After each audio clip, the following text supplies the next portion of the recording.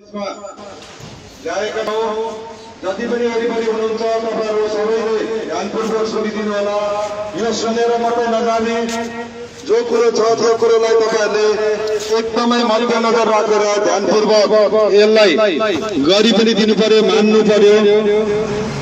जति पनि हाम्रो जनसमुदाय छ बाहिरबाट आएको यहाँभित्रको जति पनि छ भोलि पच्चिस तारिक बिहान छ बजीदेखि एकतिस तारिक मार्चसम्म।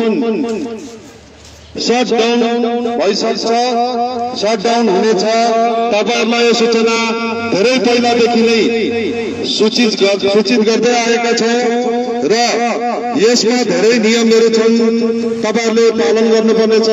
यो कुरोलाई आफू आफूले नै जोगिएर अरूलाई पनि जोगाउनु पर्ने एकदमै तपाईँ हाम्रो दायित्व बनेको छ र सबैजनाले आफ्नो घरदेखि परिवारसँग बसेर घरभित्रै बस्नु होला बाहिर ननिस- ननिस्किनु होला बजारमा पाँचजना भन्दा ज्यादा मान्छे एकै ठाउँ नबसिदिनु होला एक अर्कामा पनि कमसे कम तिन फिटको यानि कि एक मिटरको दूरीमा बसेर तपाईँहरू केही गफ गर्नु छ बात गर्नु छ भने गर्नु होला तर पाँचजनाको समूह भएर कसैले पनि एकैजुट भएर नबसिदिनु होला साथै तपाईँहरूलाई अरू सूचना पनि छ जति पनि हाम्रो नानीहरू अथवा कर्मचारी विदेश मात्र नभएर हाम्रो भारतकै अन्य अन्य राज्यमा गएका छन् कति फर्किएर आउँदैछन् उहाँहरूलाई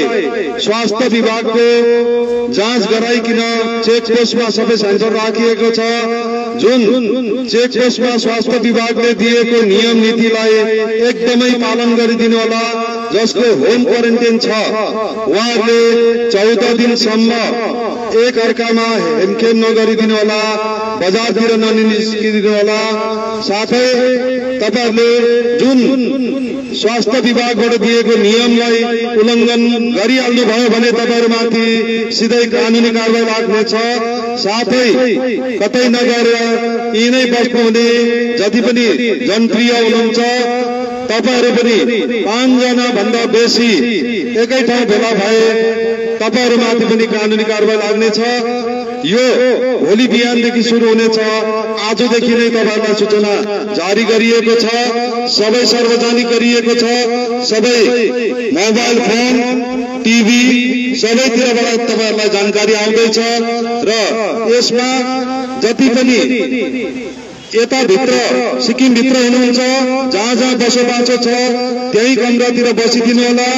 जति जरुरी अफिस जाने या त तपाईँहरूलाई जरुरत एकदमै इमर्जेन्सी छ भने तपाईँहरूले तपाईँहरूको गाडी कतै लानु पर्यो तपाईँहरू कतै जानु पर्यो भने एसडिएम रङ्फू बिडिओ दुर्गा उहाँहरूसँग सम्पर्क गरेर उहाँहरूको एडभाइसको आधारमा मात्र तपाईँहरू बाहिर निस्किदिनु होला। साथै बजारमा पनि यो तपाईँहरूलाई बजार घुम्ने हाहा हो गर्ने छुट्टी भएको होइन। यो घरभित्र बसेर तपाईँहरूले आफ्नो परिवारसँग बिताउनु पर्नेछ साथै हाम्रो चालक साथीभाइहरूलाई कुनै इमर्जेन्सीमा कसैले पर्मिसन दियो भने जो पर्मिसन दिने हाम्रो विभागमा छुटिएको छ जस्तै एसडिएम रङको दुर्गा बिडिओ उहाँहरूकोबाट पर्मिसन भयो भने मात्रै गाडी बाहिर निकाल्नु होला। यदि यदि यो सूचना सुनेर पनि तपाईँहरूमाथि कतै केही भयो भने आफैमा जिम्मेवार हुनुपर्ने छ तर यता कानुनी कारवाही पनि हुनेछ तपाईँहरूलाई। र यो विषयलाई एकदमै मध्यनजर राखेर तपाईँहरूले ध्यानपूर्वक मेन्टेन गर्नुपर्ने छ यो जति पनि अहिले भेलाउनु भएको छ यसरी एकै ठाउँमा पनि बसेर तपाईँहरूले नगरिदिनुहोस्। कमसे कम एक मिटरको दूरीमा बसेर तपाईँहरूले एक अर्कामा सम्पर्क गरिदिनु होला।